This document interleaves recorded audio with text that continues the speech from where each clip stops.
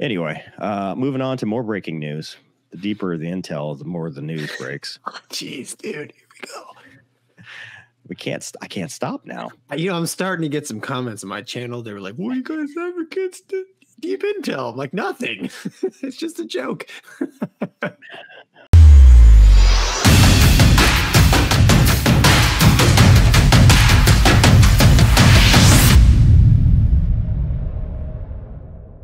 It is.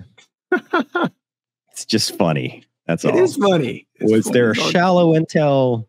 What are the various levels Levels of depth intel? Yeah. Yeah. Usually it's if it's deeper than probably normal intel, then you're probably going to jail. That's right. So it's really probably not deep intel because that's where the jail, you know, unless you store Yeah. it in. in a, I remember getting out of the actual deep intel briefs, and I was think, and I would think, that's I know less crap. now than when I went in here. Right. exactly.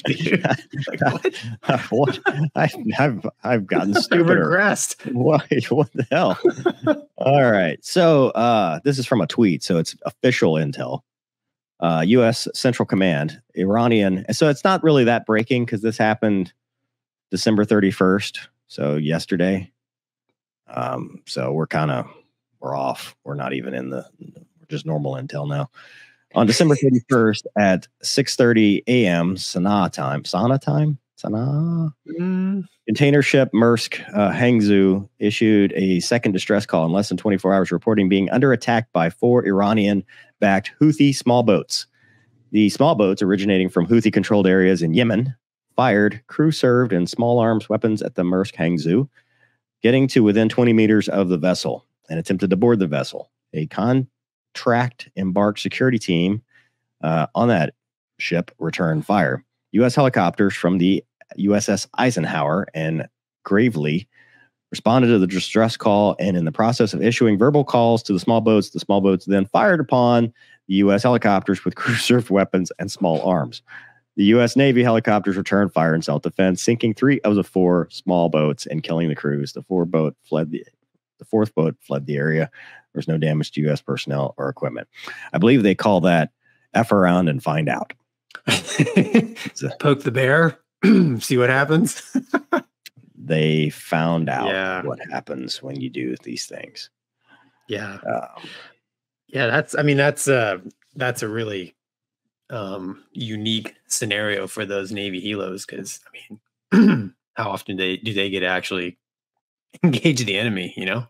Well, and so it's an escalation in the area. Um, you know, a lot of the Twitter intel sources now think that this is going to escalate to a, an actual regional conflict where they go after the Houthi forces in Yemen.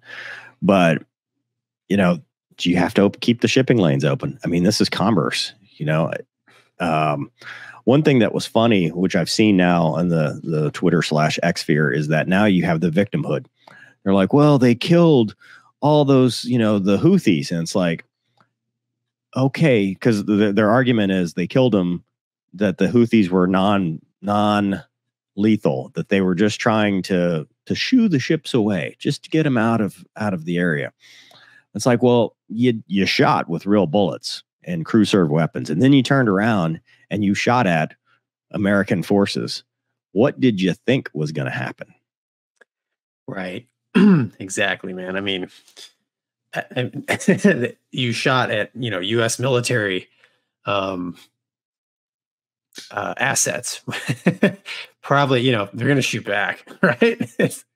Yeah. um, I, I mean, I don't know all the de- you know, no, you and I don't know all the details of you know both sides' arguments, but like you said, man, you got to keep the shipping lanes open, and if you're gonna, if you're, you know, if you're gonna shoot at somebody, prepare to get shot shot at back.